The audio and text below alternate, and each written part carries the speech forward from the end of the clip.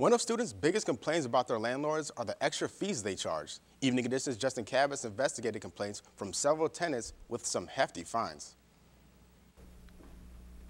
Several students we interviewed say they were hit with extra fees after they moved out.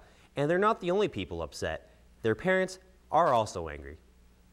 I'm Really hoping Most new students, like Drew Grawl, don't thoroughly check their lease before signing it.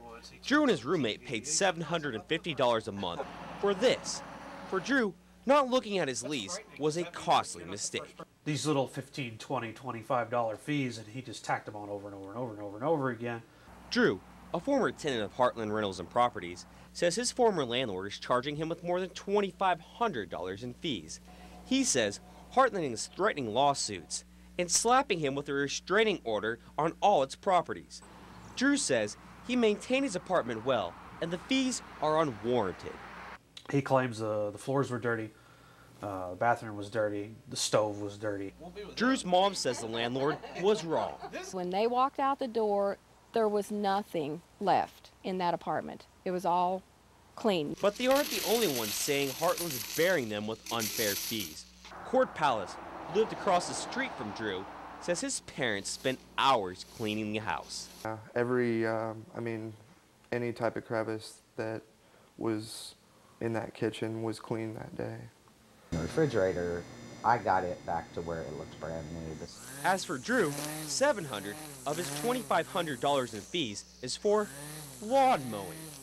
He says he mowed his lawn. But Drew says once a week, Amanda Weeder strolled all Heartland's properties on Walnut, cut the edges around the house, and then moved on to the next property. I guess if he spent, you know, three seconds in your yard, it was three seconds enough to say, oh, I I mowed his lawn, so hit him with the bill.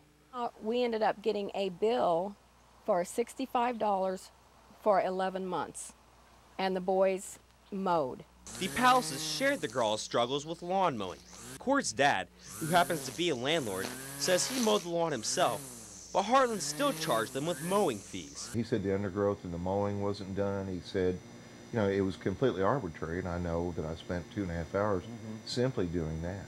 The city will fine landlords if they don't maintain their lawns, but it also says it won't fine for missing minor portions, such as the edges around the house at Drew's apartment. Given the, the uh, uh, occurrence that you've mentioned where it might be, you know, a few blades of grass around a tree or around the post, we do not call the contract mowers in to take care of that. It's the overall condition of the yard that we call the contractors in for.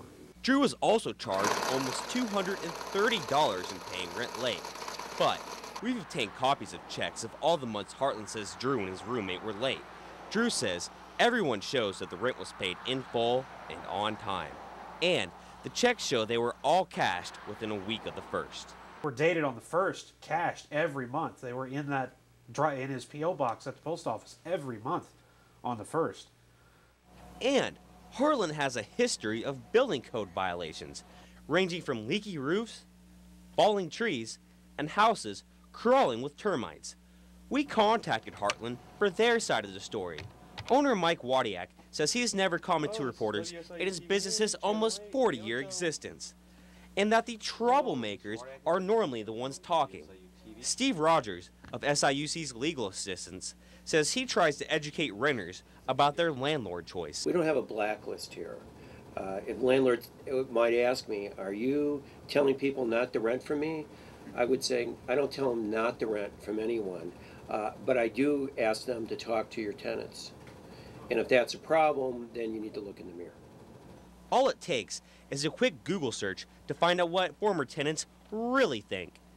But that doesn't help with these two families who are now struggling with mountains of fees. And this experience with this gentleman was uh, the most unique and an adversarial way that I'd ever dealt with a landlord before. It's certainly a landlord that's taken advantage of people and should be stopped. Now, most everything Heartland is doing is legal, but these students and their parents say there should be more consumer protections for student renters.